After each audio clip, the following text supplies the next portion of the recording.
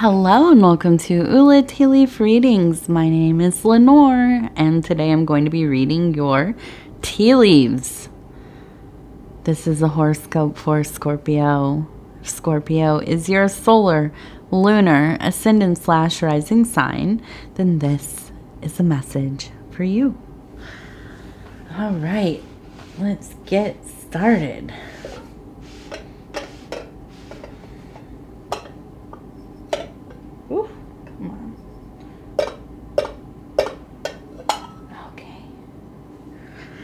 Here we go. Let's check out these tea leaves, see what they have to say today. Oh, Scorpio, Scorpio. And so our card for today is the Seven of Swords, okay? I'm sorry. Uh, I just, um, this has to do with futility. I always am like, ugh, this card when I pull it. And that's why I'm laughing. I'm just gosh dang it. I like the I like the colors of the card. I don't necessarily like the energy of it. Okay, so let's see what do we have going on here? So this is an interesting, I always love when um, we have a formation that's kind of um, echoed. So we have uh, an animal being ridden by somebody. Maybe this one almost looks like they're standing on the back of it. The head, this is the head, the legs, and then we have the person standing here. Their arm is raised up. Their head looks like it's looking up. Now we turn this right here and we have again an animal. This one has uh, horns. Okay, but we also have somebody who is kind of leaning back on this this uh, well i would say it's like a bowl maybe and um, looking upward with their arm raised okay? Um, so interesting when they aren't exactly the same but they are kind of echoed there. So let's look at the first one. Uh, it also looks like maybe a buffalo or a bull of some kind um, you can see it's kind of got that real um, like the the big, thick um, front of it right there, the big chest and back, and um, maybe the smaller um, backside with the smaller legs. So that makes me think this is like a cow, a bull, okay? Um, maybe like a water buffalo, I don't know. but whatever it is, it's a large beast. Um, it is something very substantial okay? A lot of force here. Um, and uh, with the person standing on the back of it, looking up to the sky, pointing maybe or reaching out. Um, we have some formations here. Uh, and immediately, I think this is all about chasing your dreams. Um, you know, in the face of uh, things really just not working out right now. Kind of feeling like, you know, I don't know. Do you ever feel like that where it's like everybody's been lying to you about life or, you know, they, your whole life growing up, whatever people have been telling you, um, you know, you can do whatever you want uh, there's somebody out there for you. There's, you know, there's you're gonna have a big payoff for all of your hard work and you know all these kinds of things the dreams right and um, maybe they haven't always worked out or maybe they've never happened. It just has not happened the way that you hoped or envisioned it would. And so you feel like the universe is kind of playing um, a mean trick on you, like everything is maybe kind of a lie, um, feeling a little disenfranchised, disheartened. Um, and yet, and yet, there's something inside of you, there's some part of you that's still you know, maybe you're a romantic, but there's something inside of you that still dreams um, about that great unknown, about those um, mysterious, beautiful, divine things. that maybe the world will, um, you know, show you some kindness, some love, some opportunity, you know. And um, I think we all feel like this sometimes. I think we all feel like we've been let down. But if we could just hang on, right? If we can just keep pushing through. Um, you know, and I think that's, I think it's very important to keep that energy um, as much as you can. And I know sometimes life just really um, does get to those places where it's like, I don't even know how I'm going to um, feed my family, let alone myself, for the next few weeks, you know. Um, I don't know, you know, if I'm going to have a job after this next season. Or I don't know, you know, all these what ifs or how will I, you know, and that happens. I mean, that really does happen in life. A lot of us are living from paycheck to paycheck, you know, terrified. You know, the world is full of things that are scary, but what is more scary than our life being, you know, hanging from a thread? And it is for so many people. And I get that. I understand that.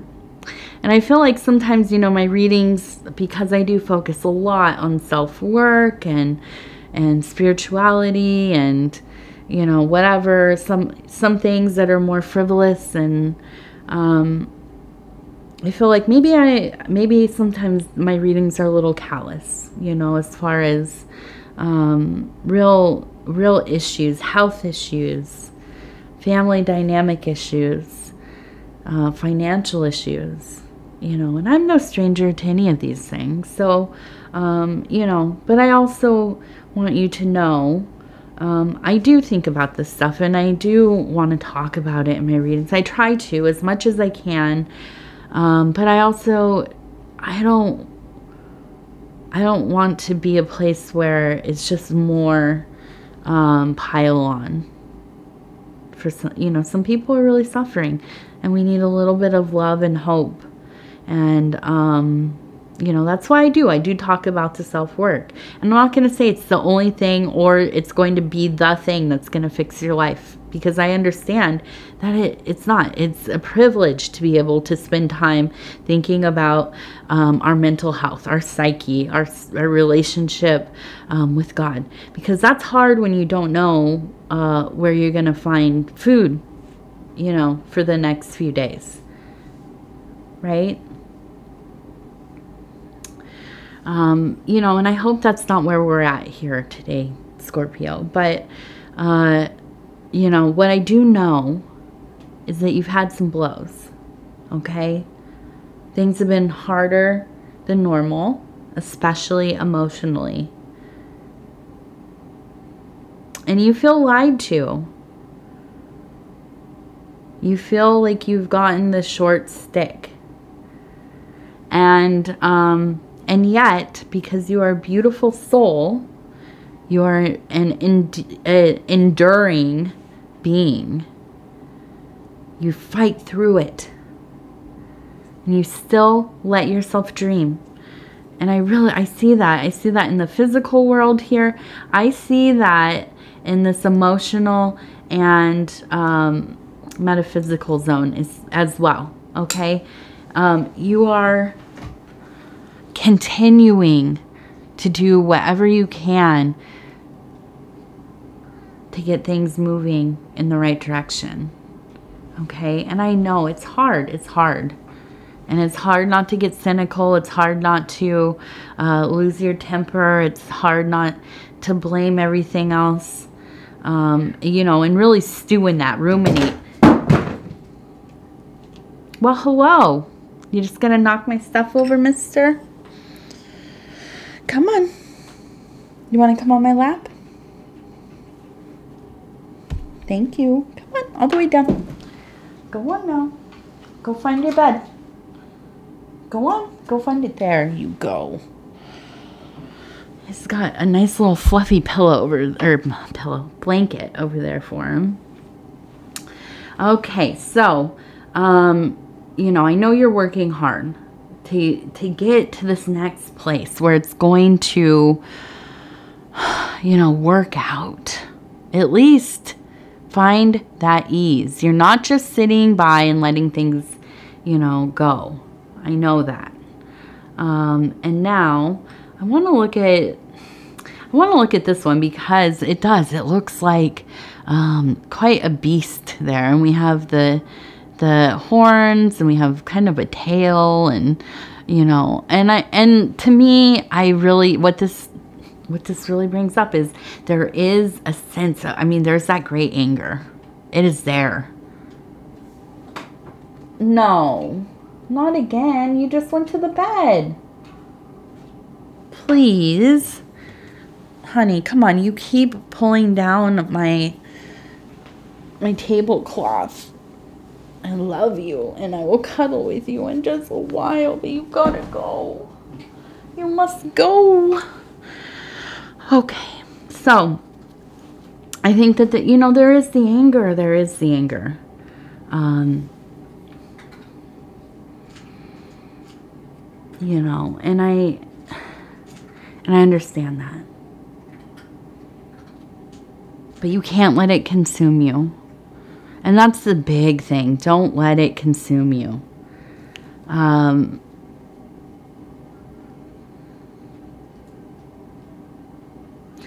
you know and i think with with that seven of swords there really is that um energy of secrets and secret things and falling into um, you know our hidden lives and we all do we all have hidden lives we all have our um, things that we don't show other people we have secret lives especially like co- for coping right and I know this all too well.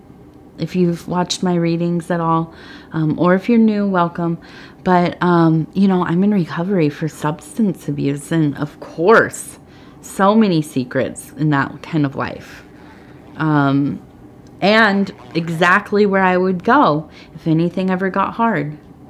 Um, you know, and I'm not saying that's what you're doing, but I am no stranger to having a secret life or, you know, a place where um, I don't want anybody to see what I'm doing. And now, you know, um, although I'm, I don't, I would say I don't really hide anything anymore, but, um, you know, there's things, of course, that I am, I feel shameful about, you know, I'm, I'm still an addict and I still, things like, um, you know, overeating, you know, or um, emotional eating, as we like to say it, in a in a nice way.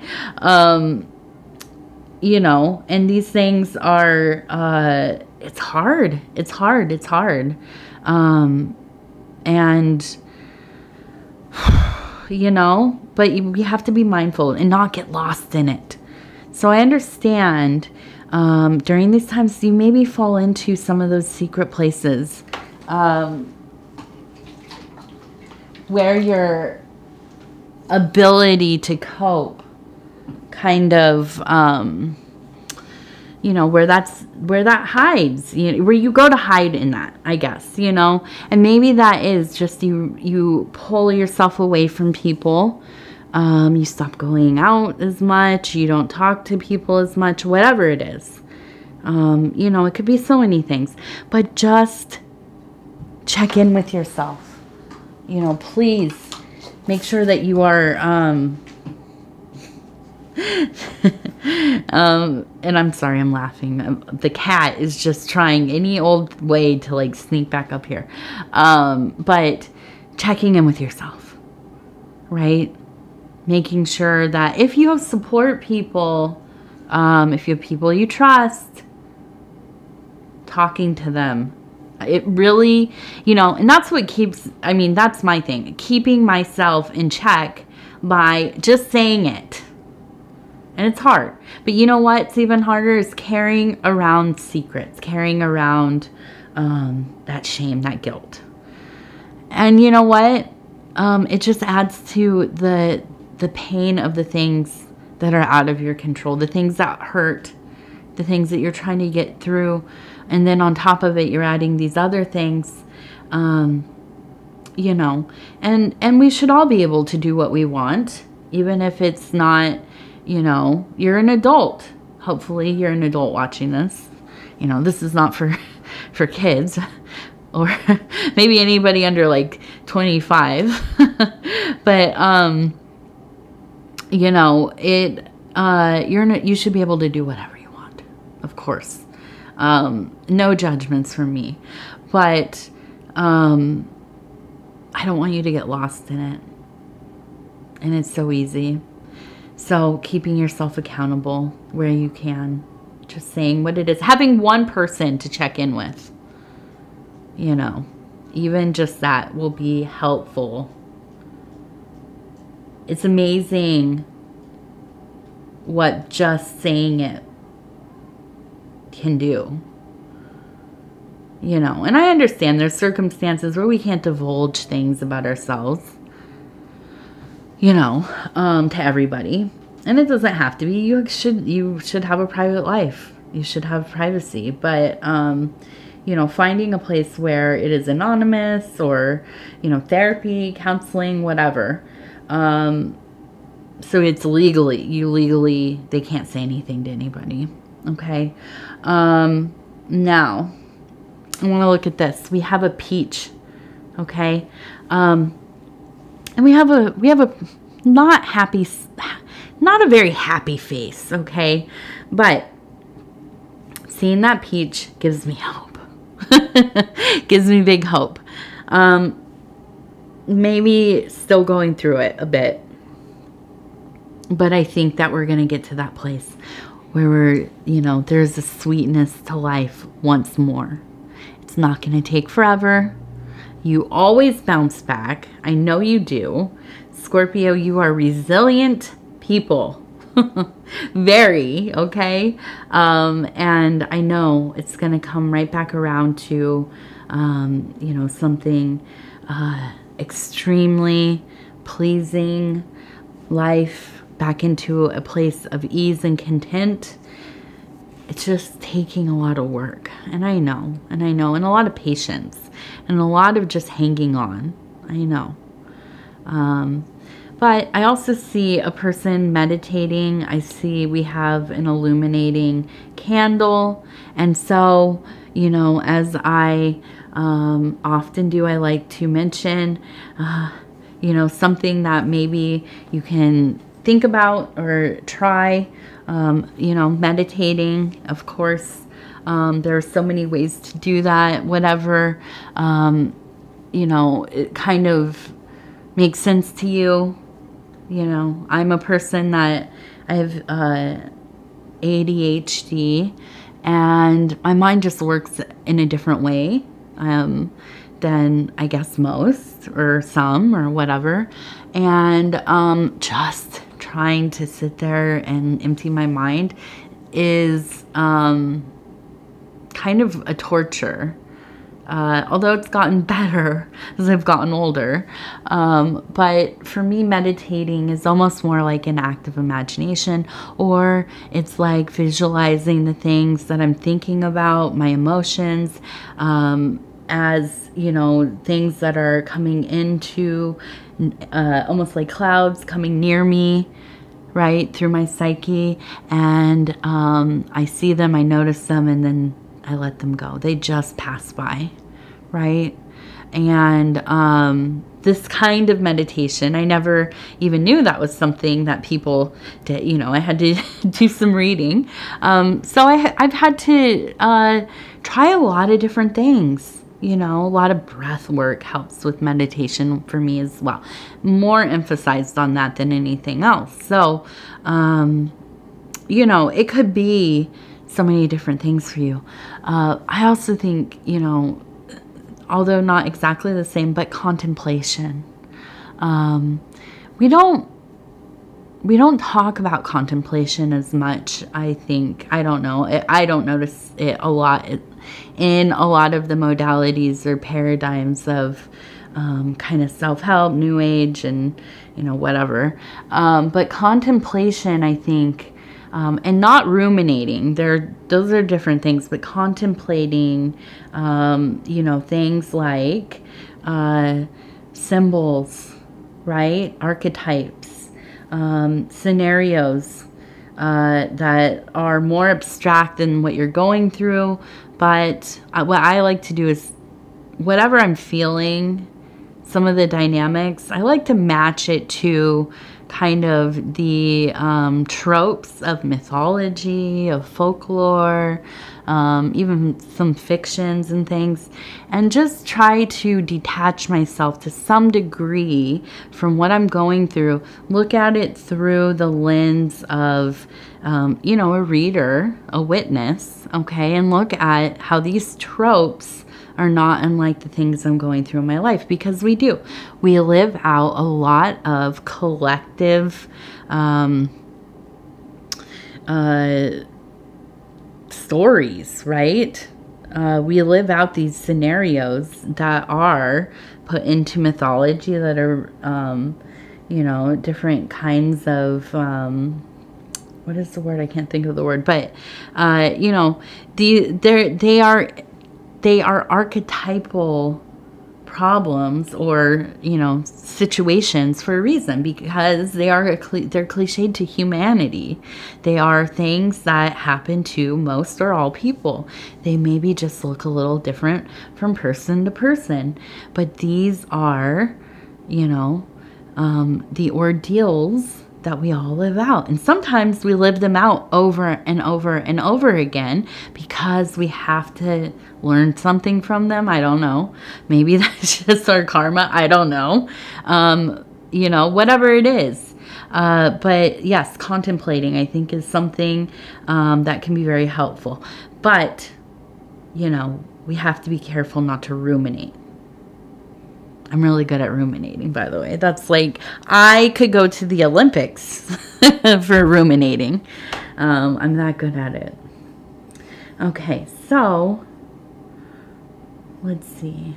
We have a little bird. We actually have two little birds and we have another illuminating candle. So I think really um, we do have some deep messaging coming through. And I think this is really important to doing that work. I also think that quite literally we have the person looking at the sky with their arm extended. I think that maybe you could go out and look at the sky for a little while. Do that every day for a couple of weeks, even if it's just for a few minutes. Um, you know, it doesn't have to be the night sky. Don't go looking at the sun though. I never said that. Um, but go go and look go and look up. How often do we just forget to even look at the sky? Um, you know, where I live, this we it's very wide open, so I see the sky a lot, um, and I'm amazed. I never looked at the sky as much when I lived in the city, and um, I see all kinds of stuff going on. Um, I've learned so much about the birds, um, so many things about clouds that I never knew. Um, my husband even was studying clouds and and um, different kinds of clouds and stuff. And so we would talk about that a bit. But, um, you know, I've seen so many colors I never even saw before. I understand the weather weather patterns a lot more. Um, a lot of interesting stuff going on at night in the sky. Um, I just saw the um, Starlink uh, line of um, satellites not that long ago, a couple weeks ago. And so, you know, there's so much going on. And it is a really good friend that will always listen. You know, that sky, it will. It will listen. Okay, so we're going to do the Dreamer's Deck, and this is 40 affirmations for pursuing your dreams, and this is from the I Know collection.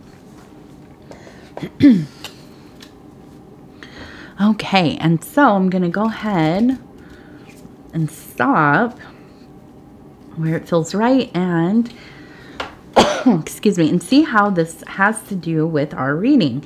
It says, I know that I am the only one who determines what is and what isn't right for me. I am the final say. Yeah, I like that. That's something, you know, that is something we have to learn. Um, because, and you know what, as a, as a parent, I really, it's hard because of time management and also just trying to get things, you know, done. Um, really finding the language to talk to my child where she feels empowered to make her own decisions.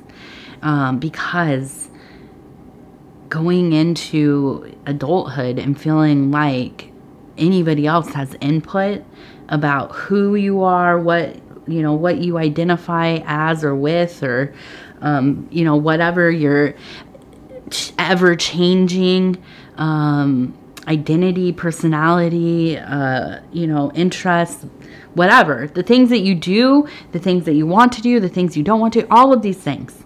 And you go into life as an adult thinking that anybody else has a say in that. It's a lot of conditioning. It takes so much to undo um, that deep conditioning. And so I think about this a lot you know and there's a lot in the there's a lot in this um, movement towards autonomy for young children right and i think it's so important and um, so you know something that uh, we should and i want to i want to say it again because you know i think it's really i know i know that i am the only one who determines what is and isn't right for me. I am the final say. Period. Gosh, that is a powerful energy. All right. I want to go ahead and say thank you so much for spending this time with me. It is always such an honor to be able to spend this time with you and to bring these messages for you. Okay, and so if you would be so kind as to like the video, it helps us get into the algorithm. And the algorithm, um, you know, really decides like how far out these videos go, um, if they get recommended to people and so on. Uh, so things like liking the video, uh, watching the readings from the beginning to the end, and sharing them on other social media platforms really helps boost that for the algorithm. And um, if you're interested in supporting the channel, these are like the best ways to do it. Other than that, if you haven't subscribed yet, please think about doing so. You can hit the little bell, it'll let you know when the next videos are coming out. And if you uh, want to leave a comment, please do. I read all of them. Uh, it, I mean, they are very important. they are so important to me um, because I love hearing about you all. I love feeling your energies. I've gotten to know some of you pretty well, and um, I, I absolutely adore you all. I really do, and um, and yeah. So uh, again, I'm gonna say thank you. I will talk to you in a few days, Scorpio, and um, I hope you have a beautiful week or weekend or whatever is coming up next after you've watched this. And I love you. Bye bye.